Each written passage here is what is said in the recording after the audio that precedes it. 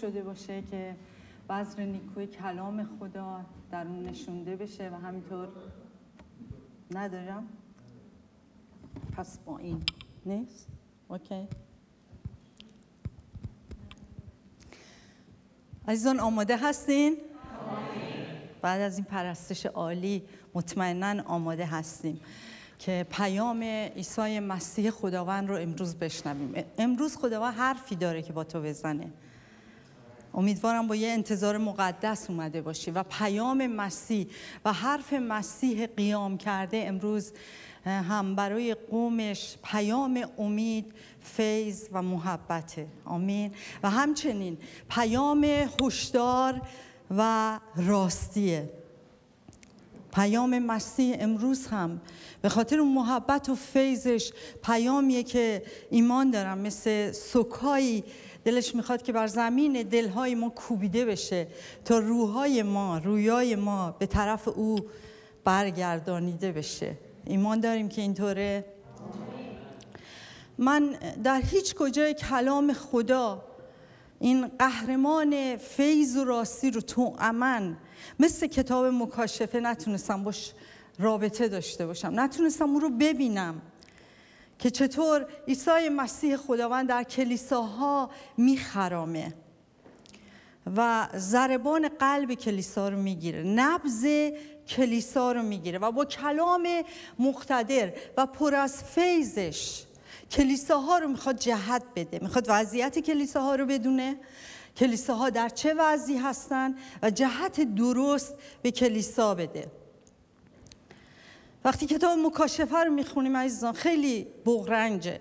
تمام بابهاشو وقتی می‌خونیم پر از تصویرهای مهیج پر از اعداد پر از سمبولها پر از تخیل پردازی. البته از نوع مثبت آن از نوع سالم آن. ولی وقتی شروع می‌کنی باب یک و دو و سه رو می‌خونی از اون پیچیدگی که در اون باب هاست هیچ خبری نیست.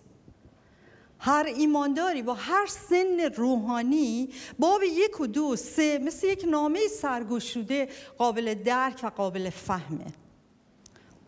باب دو آیه یک تا هفت رو با هم قرائت می‌کنیم. به فرشته کلیسای در کلیسای در افسوس بنویس که این را می‌گوید. او که هفت ستاره را به دست راست خود دارد. و در میان هفت چراغدان طلا میخرامد. می‌دانم اعمال تو را و مشقت و صبر تو را و اینکه متحمل اشرار نمی‌توانی شد و آنانی را که خود را رسولان می‌خوانند و نیستند. آزمودی و ایشان را دروغگو یافتی و صبر داری و به خاطر اسم من تحمل کردی و خسته نشدی. عیسی مسیح خداوند در میان کلیساها میخرامه امروز هم در میان کلیسای خودش در کلیسای مجید خودش میخرامه عزیزان. و چنین متحدانه و دلسوزانه مشتاقه که کلیساهاش که بدن مقدسش هستن نقد و بررسی کنه. چرا؟ چون کلیسا یک سرمایه گرانبهای برای عیسی مسیح. چون با خون گرانبهاش کلیسا رو خریده. چرا که خود عیسی مسیح سازنده کلیساست مؤسس تدوین کننده و بنا کننده کلیساست. چرا که کلیسا عزیزان راجب یه سیستم و سازمان انسانی نیست راجب ساختمان نیست بلکه راجب مردمه. کلیسای مسیح خداوند در مورد فرقه و جناح خاصی نیست بلکه راجب گله خداونده که باید حفظ و حراست بشه. کلیسای خداوند حتی یزدان سالاری و دموکراسی هم نیست. بلکه کلیسای خداوند کلیسای زنده خداوند بر پادشاهی و حکومت مقتدرانه عیسی مسیح خداوند بنا شده. آیه یک میگه به فرشته کلیسای افسوس بنویس کسی که ستاره هفت ستاره را در دست دارد و به میان هفت چراغدان میخرامد. به فرشته کلیسای افسوس منظورش پیام آوران هر کلیسا هستند. دست راست اشاره به حفاظت و حمایت این پیام آورانه و در میان هفت چراغدان اشاره به هفت کلیساه. در اون زمان و کلیساها در زمان حاضر. هفت چراغدان عزیزان. اشاره به اینه که کلیساها نور جهان هستند چراغدان سمبل نور جهانه. عیسی مسیح. و ما خوانده شدیم که این نور جهان از میان ما در دنیای تاریک تابانیده بشه. و آیه دو میگه می‌دانم. اعمال تو را می‌دانم. عزیزان می‌دانم. تو این یه دونه واژه چه بار معنایی نهفته است. چشمای آتشگونه و نافذ عیسی داره نگاه می‌کنه. وقتی میگه می‌دانم به جز اینکه سر تو خم کنی هیچ چیزی نداری. در مقابل او بگی می‌دانم. اعمال تو را می‌دانم که چقدر در خدمت وفاداری چقدر ایمانی تو هم با عمل داری. این کلیسا خوب فهمیده بود که ایمان بدون عمل مرده است. می‌دانم ای کلیسا که چقدر به دنبال گم شده ها هستی. چقدر شهادت عالی و نیکو توی دنیا داره از تو دیده میشه. می‌دانم که شاید مثل مادر ترزا چقدر داری فقیران رو رسیدگی می‌کنی مستمندان رو محتاجان رو. وقتی اینا رو می‌خونی عزیزان واقعا چه تقدیر عالی داره عیسی مسیح می‌کنه. چه گزارش عالی و نیکویی داره از زبان قدوس عیسی مسیح بر این کلیسای افسوس جاری میشه. اعمال تو را می‌دانم. نه فقط اعمال تو را چیزای بیرونی بلکه مشقت و صبر تو را می‌دانم. می‌دونم. ای کلیسای افسوس چه مشقت هایی داری در خدمت خودت متحمل میشی. و تو هرگز صحنه رو ترک نکردی. در تمامی این دردهایی که کشیدی. و تو بهار خوب پرداختی و خوب فهمیدی که هیچ راه میونبری برای خدمت به عیسی مسیح وجود نداره عزیزان در قرن حاضر به خصوص در این زمانها در این بحرانهایی که پیش اومده خیلی خوب داریم می‌بینیم که ایمانداران چطور از صحنه کلیسا کم کم دارن محو میشن نیست؟ اینجا رو که رسیدم یاد پولس و دردهایی که در کلیسای قلاتیه داشت می‌کشید افتادم چقدر با هرس در باب پنج میگه چه به روزت اومد کلیسای قلاتیه خوب میدویدی خیلی خوب میدویدی. چطور شد که از مدار خارج شدی؟ از میدان مسابقه خارج شدی؟ عزیزان خیلی عالیه که ما خوب شروع کنیم. ولی موندن ادامه دادن تا به آخر خیلی مهمتره از چشمای عیسی. اما عیسی میفرماید که ایمانداران کلیسای افسوس این چنین نبودن. اونها در هر وضعیتی پشتکار داشتن با پشتکاری و بردباری ادامه می‌دادن. عیسی خداوند اعمال اونا رو می‌دونه مشقت اونا رو می‌دونه. اما یک چیز خیلی مهمتر هم می‌دونه اون می‌دونه که چقدر اونا در اعتقاداتشون راسخ بودن. که کلیسا شما متحمل اشرار نمیشین و دروغگویان رو میآزمایین و دروغگو فهمیدین که هستن. یعنی به نوعی شما دید روحانی دارین. تشخیص میدین چه کسی بینتونه؟ چه کسی گرگ های گوسفند نما هستن؟ تو تشخیص میدی. تو بدی رو بدی می‌دونی و خوبی رو خوبی می‌دونی. و هیچ سازشی هیچ سازشی با بدی و گناه نمی کنی صبر داری همینطور صبر داری. خیلی دلشون می‌خواد نیست؟ و به خاطر اسم من تحمل کردی و خسته نشدی. تو کلیسا زیر بار فشارهایی که در اون زمان بود قرن اول میلادی که دومنیتیان حاکم وقت بود و خودش تجسم نرون می‌دونست و یه مجسمه ای برپا کرده بود که تمام افراد باید پرستش می‌کردن و قربانی میگذروندن. و در اون زمان مسیحی ها چقدر در جفا بودن. اگه اطاعت نمی‌کردن اونا رو به قتل میرسوندن و به آتش به آتش میسوزاندن. و عیسی مسیح خداوند میگه تو زیر این حکم نابخردانه نرفتی. تو یک کلیسای بردبار بودی و برای مسیح و کلیسای خداوند خوب ایستادی.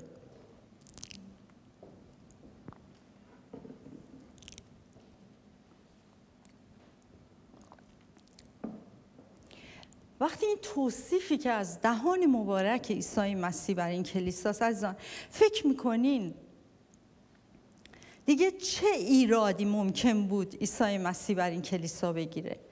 من وقتی این چیزها رو هر دفعه که می‌خونم فکر می‌کنم این کلیسا مثل این نیروهای عملیاتی دلتا هستن. یک جنگجویان ویژه که برای کارهای خیلی خطرناک و پیچیده خوانده شده بودن. دیگه عیسی خداوند چی ممکنه به این کلیسا بگی؟ به جز اینکه توق طلا برگردن اونا بذاری کف بزنی و بگی ادامه بده. از می‌خوام بهتون بگم اگه یه همچی کلیسایی رو پیدا کردین در این زمان بدونین که اصلا به ما اطلاع بدین برین عضو بشین. می‌خوام بگم خطه شما به جاهای خیلی خوشی افتاده. اگه یه همچی کلیسایی رو پیدا کنید اما عزیزان اما مسیح آیه چهار میگه بحثی رو با تو دارم. یک ایرادی رو بر تو دارم که محبت نخستین خود را ترک کردی. محبت نخستین خود را ترک کردی. نه که اونا مسیح و دوست نداشته باشن عزیزان. فقط از اون جایگاه رفی حرکت کردن. جای دیگه رفتن جای دیگه که خیلی مشغولشون می‌کرد. به بیانی اولویت زندگی خودشون رو از دست دادن. محبت نخستین یعنی اون اولویت اول. عزیزا می‌تونم بگم این می‌تونه در یک ازدواج هم اتفاق بیفته. ازدواج های ما بعد چند سال می‌تونه خالی از اون محبت و حس و هیجان بشه. فقط تکرار مکررات باشه. تجربه کردین زوجهای عزیز؟ انجام وظیفه. هیچ محبتی نباشه.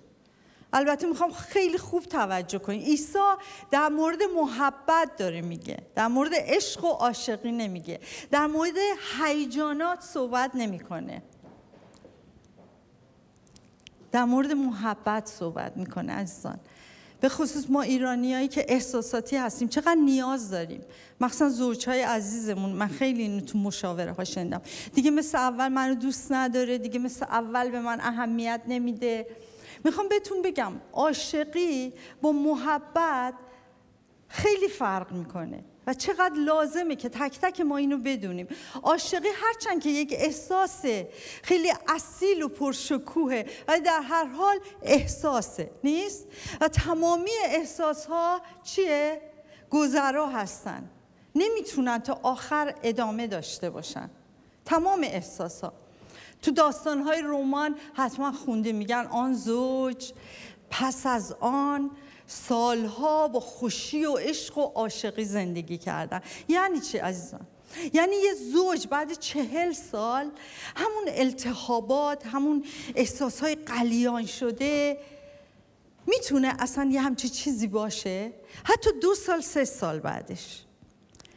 فکرشو بکن چه بر سر اون خوراک انسان رابطه انسان روح انسان میاد. عاشقی التهاب اولش دیگه نیست؟ اگه دو سال سه سال بخواد ادامه داشته باشه اصلا یه انسان می‌تونه؟ نیست؟ می‌تونه ادامه داشته باشه؟ چه کسی می‌تونه؟ چی بر سر اشتها میاد؟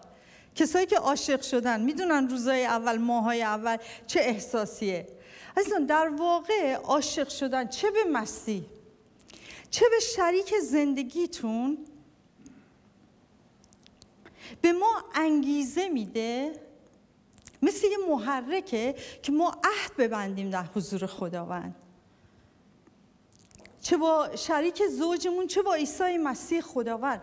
ولی بعد از اون این رابطه وارد یک رابطه بی حیاهو که به صورت ارادی شخص حتی اگه احساس هیجان هم نداشته باشه احساسهای اون عاشقانه و ملتهب هم نداشته باشه به صورت ارادی در هر وضعیتی در هر شرایطی می‌تونه شریک عهدش رو دنبال کنه. باور می‌کنین یا آمین داره یا نه؟ وقتی در کتاب غزل غزل ها می‌خونی فرق این عاشقی و محبت چقدر زیبا. عزیزان به تصویر کشیده. من فقط به طور مثال میگم. باب یک و دو سه پر از هیجان پر از احساسات قلیان یافته. او به بوسه های دهان خود مرا ببوسد. اسم تو مثل عطر ریخته شده است. از گردنبند یارش تعریف می‌کنه. از گونه های برجسته یارش تعریف می‌کنه. محبوب محبوبه میگه. چهرت رو به من بنما. آوازت رو به من بشنو. به چقدر زیباد همه چی هیجان انگیزه عزیزان. ولی از باب چهار وارد یک رابطه عمیق و تنگاتنگ میشه. یک رابطه ای که اسمش محبته. یک رابطه ای که هیچ حیاهوی توش نداره ولی یک وزنه و عمقی داره. و این باعث میشه که عروس محبوبه. وقتی بادهای شمالی و جنوبی میوزه وقتی در بیابانهای خشک و برهود عبور می‌کنه بتونه عبور کنه تا به جایی برسه به اون تسلیم و سرسپردگی برسه. و به اون پیوند ابدی با داماد برسه. و اونجاست که اون محبت آگاپه رو با زیباترین سروده ها اونجا می سرای محبوبه. آبهای بسیار محبت را خاموش نتواند کرد عزیزان. هیچ چیزی هیچ سرگرمی هیچ مشغولیتی هیچ جفایی. سیلها آن را نتواند فرو نشانید. اگر کسی تمامی اموالش رو برای محبت بده یقینا این محبت رو خار شمرده. از عاشق شدن مثل یک سرخکه که به ما آرز میشه مثل یک استارده مثل یک جرقه است ولی محبت موتور ازدواجه. محبت موتور زندگی من با مسیح در جفاها در تنگیها در انادها تا به آخر. برای همین مسیح دنبال محبته. مسیح دنبال هیجانات نیست عزیزان. مسیح دنبال کارهای ما نیست. مسیح دنبال این نیست که صبح تا شب بگی عاشقتم و هزار تا کار برای او بکنی. وقتی تو هوشا باب شیش شیش نمی‌دونم متا باب نه مرقس باب دوازده داری فقط می‌خونه. عیسی مسیح خداوندی که داری میگه محبت را پسند کردم. بیشتر از قربانی های سوختنی. بیشتر خدماتی که برای من می‌کنی. محبت رو بیشتر از هدایای تو افضلتر دونستم. محبت رو می‌خوام. دنبال محبت هستم. انقدر این مقوله محبت برای خداوند جدیه که میگه اگه توبه نکنی و اعمال نخست خود را به جان نیاوری میایم و چراغدان تو را از اون کارایی میندازم. از تنها چیزی که یک کلیسا رو عالی می‌سازه محبت ما به مسیحه. و از این محبت ما به مسیحه که ما محبت به دیگران می‌تونیم بکنیم نیست؟ و این محبت رو به دنیا می‌تونیم بکنیم وقتی این محبت کاسته میشه تاثیرگذاری کلیسا کاسته میشه یعنی اون روغن اون چراغدان نور اون چراغدان کم کم خاموش میشه و کلیسا تبدیل به یه بنای یاد بود مقبره و یه سازمان انسانی میشه که دنبال خیلی کارا هستن. مثل کلیسای افسوس. و اون اصل رو ندارن. کلیسا خوانده شده که نور عالم باشه. به واسطه محبت مسیح. بزرگترین احکام و اولین احکام چیه عزیزان؟ در مرقس باب دوازده آیه سی اگه درست گفته باشم. خداوند خدای خود رو با تمامی دل خود با تمامی جان خود با تمامی خاطر خود با تمامی قوت خود محبت کن که این اول احکام است. از اگه می‌خوایم یک کلیسای تاثیرگذار داشته باشیم یک کلیسایی که شاگردسازی توش جون بگیره یک کلیسایی که اتحاد الهی توش باشه. یک کلیسایی که دعا و شفاعت اونجوری که مقبول دل ایساس داشته باشیم. کلیسایی که در روح پرستش روح راستی بخواد روش کنه. تمام اینا منوط به اینه که قلب ما به عشق عیسی مسیح به محبت او وصل شده باشه. و عیسی پر از فیض و راستی عزیزان. ایراد رو نشون میده. مشکل این کلیسا رو نشون میده ولی مثل مذاهب ما رو به حال خودمون رها نمی‌کنه. میگه چطور این محبت از دست رفته رو بازسازی کنی؟ و سه تا قدم میده. به خاطر آر به یاد آور. به یاد آور عزیزان. به یاد بیار. تقریبا سه چهار هفته است این کلام همطور منو صبحگاهان عصرگاهان به چالش میاره. به یاد بیار. روزایی که با من آشنا شدی به یاد بیار.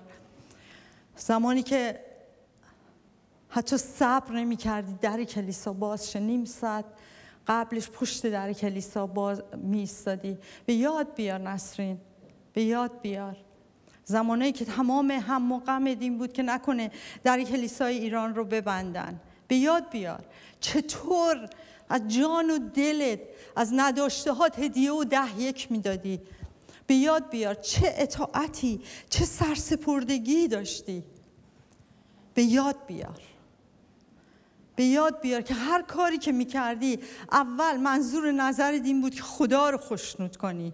مزمور 143 میگه به ایام قدیم رو به یاد بیار. در همه کارهای او تفکر کن. همه اعمال او رو در اون تعمل کن. عزیزان خاطره احیا می‌کنه خاطره بازسازی می‌کنه.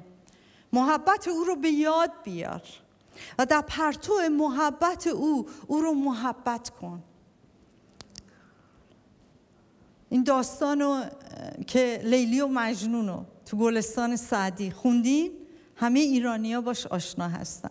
لیلی و مجنون چطور عاشق هم بودن. ولی عشق اونا نافرجام بود. چون که پدر لیلی لیلی رو داد به یه مرد دیگه. و مجنون بیچاره واقعا مجنون شد. سر به بیابون گذاشت. بدون هدف بدون هیچ انگیزه ای تو بیابون ها با حیوانات محشور شده بود. پادشاه اون سرزمین فهمید و مجنون رو به قصد دعوت کرد. حتما توی دلش می‌گفت عجب زنزلیلیه گفت این کارها چیه می‌کنی؟ گفتش که اگه تو زیبایی لیلی رو ببینی می‌فهمی درد منو می‌فهمی. پادشاه هم دستور داد لیلی رو به قصر اووردن وقتی لیلی رو دید همینجور موند. دید یه قیافه آفتاب سوخته یه قیافه درب داغون به خاطر بدی تغذیه از کمترین کنیزان قصر هم پایین تر بود. وقتی که با تعجب لیلی رو نگاه می‌کرد این چه چیزی داره که مجنون اینجوری عاشقش شده؟ مجنون متوجه شد. گفت ببین پادشاه نه تو نه هیچ کس دیگه زیبایی لیلی رو می‌تونن نگاه کنن. فقط زیبایی لیلی رو موقعی متوجه میشه که روزنه چشمای من اونو نگاه کنی. اگه اون محبتی که در قلب منه در قلب تو هم بود اینطور عاشق و شیدای او می شدی از محبت او باعث شد. خدا انقدر جهان رو محبت نمود که فرزند یگانش رو داد. تا هر کی که به او ایمان آورد هلاک نگردد بلکه حیات جاوید بیابد. محبت او بود عزیزان. محبت او بود که در ما انسان ها در من که هیچ قدر و منزلتی نداشتیم. هیچ زیبایی باطنی نداشتیم من. و اگه صادق باشیم هممون. نه تنها نداشتیم در گناه های خودمون کج و کوله شده بودیم. هیچ چیز دوست داشتنی نداشتیم که عیسی به این شکل عجیب ما رو محبت کنه. برعکس پر از کینه، تلخی، دشمنی. از تمام اون آرزه های دنیا انقدر پر شده بودیم که باطن ما سیحفام و کدر و زشت بود. این روزها به یاد بیاریم عزیزان. طعم محبت عیسی مسیح و طعم نیکوی او رو. و بذاریم در پرتو محبت او تمامیت خود رو عزیزان. تمامیت وجود خود رو تمامیت فکر خود رو تمامیت زندگی خود رو در وهله اول تقدیم او کنیم. تمامیت وقت خود رو تمامیت اموال خود رو. اگه تو این محبت رو نچشی همه کارت با حزن و استراره عزیزان.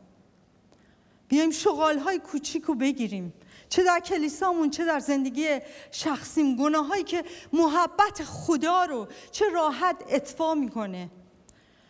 دور کنیم این گناهان رو. دور کنیم که این شغال های کوچیک که به چشمای انسانی ما نمیاد که تاکستان های خدا رو چقدر آسون خراب می‌کنه چقدر آسون کمک می‌کنه این شغال ها این گناهان که تاکستان ها میوه نیاره میوه های نفیسه نیاره تا عطرش به دنیا منتشر بشه. دنیایی که تشنه و گرسنه محبت آگاپه نه اول محبت من و تو. و رسیدگی به نیازهای اونا. بلکه محبت عیسی مسیح خداوند. بعد از اینکه میگه به یاد بیار توبه کن. یعنی جهت خود رو عوض کن. عزیزان توبه یعنی این. چقدر ماها توبه میکن کجا اشتباه کردم؟ بگی. باشه توبه می‌کنم. عذر می‌خوام. ببخشید. توبه توبه توبه. اصلا توبه یعنی اگه داشتی یه مسیر اشتباه می‌رفتی چپ می‌رفتی برگرد. از طرف راست برو. توبه کن عزیز جان. چون محبت نخستین خود رو از دست دادی این یک ضعف نیست. بلکه از چشمای خدا یک گناهه. عیسی مسیح چقدر واضح میفرماید در اناجیل خودش که یکی از نشانه های زمان های آخر سردی و ولرمی کلیساست که میگه به جهت افزونی گناه محبت بسیاری سرد میشه. به یاد بیار توبه کن و اعمال نخست خود رو به جا بیار. یعنی اون کارهایی که قبلا می‌کردی. این در یک ازدواجم.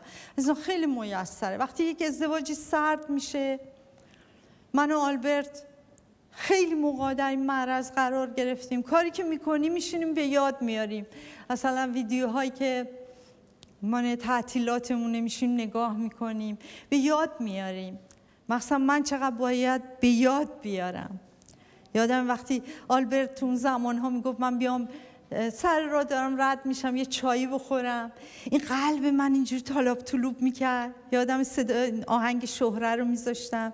تا میگه سلام فقط با یه کلام. دیوونه میشم جز تو نمی‌بینه چشام.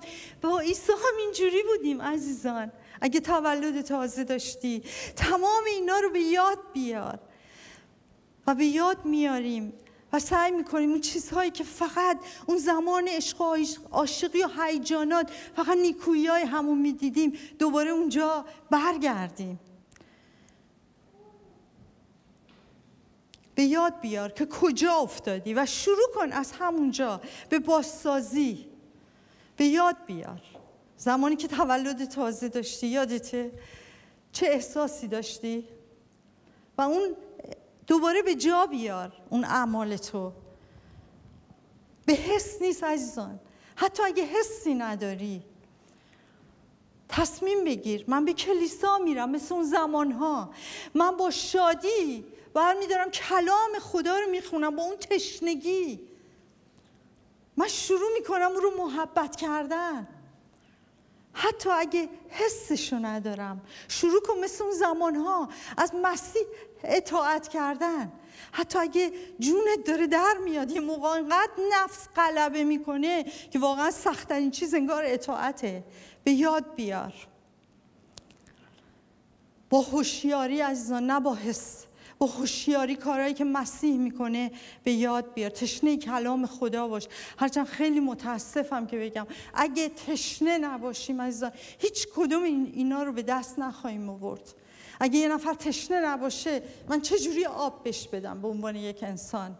کلام خدا میگه خدا روح خودشو بر تشنگان میریزه. اگه تو امروز سیر باشی انقدر حله دنیا دیگه چطور نان مخفی نان حیاتو تو بخوری و تغذیه بشی؟ یکی از فرقایی که تشنگی و گرسنگی روحانی با فیزیکی داره. اینه که وقتی ما در دنیا تشنه ایم آب می‌خوریم غذا می‌خوریم سیر میشیم. ولی عزیزان در دنیای روحانی وقتی تو تشنت آب می‌خوری تشنه تر میشی.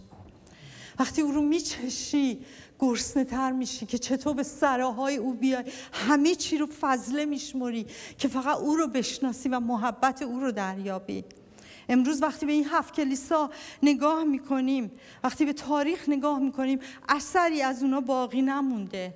چرا که خود تاریخ میگه اونا در قلبشون رو برای عیسی مسیح باز نکردن.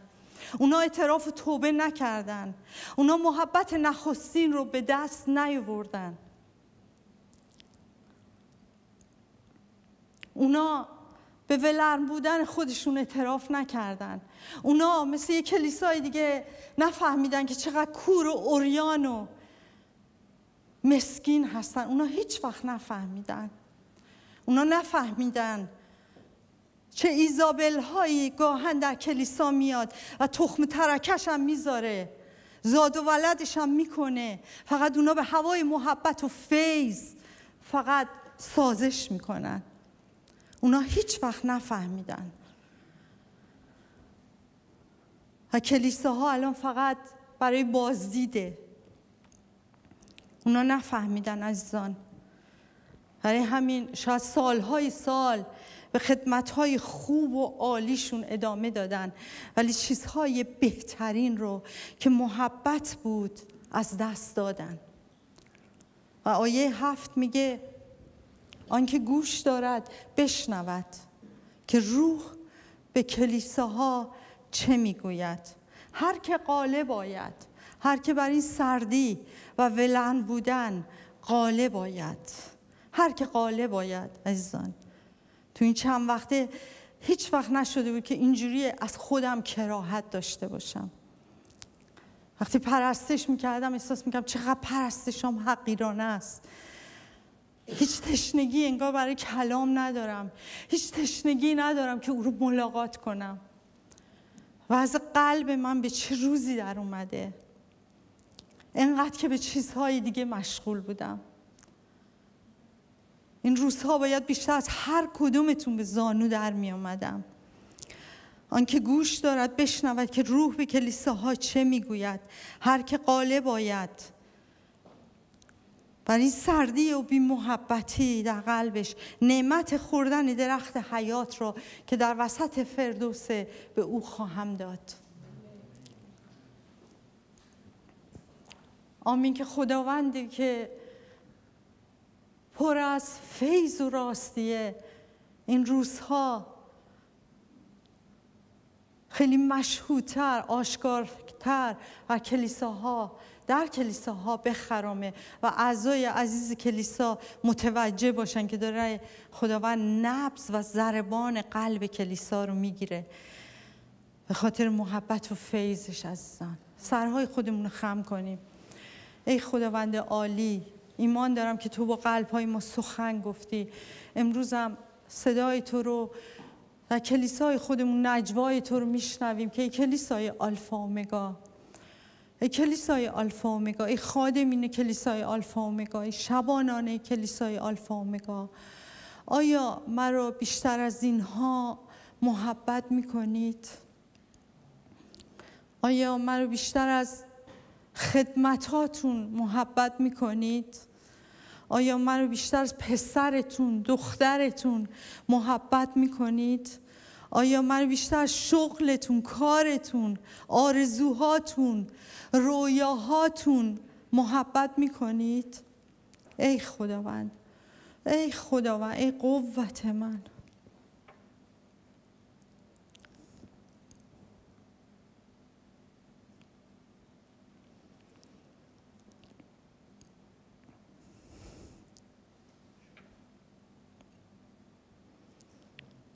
ای خداوند.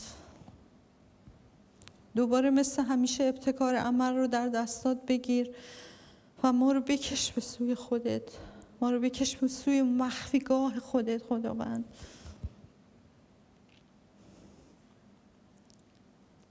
ما رو بکش به سوی قلب خودت. ما رو بکش به سوی محبت اولیه خودت.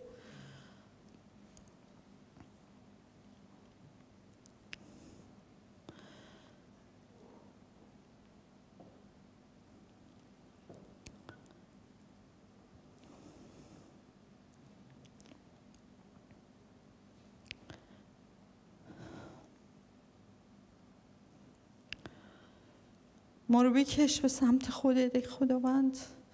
ما رو بکش به هجله های خودت.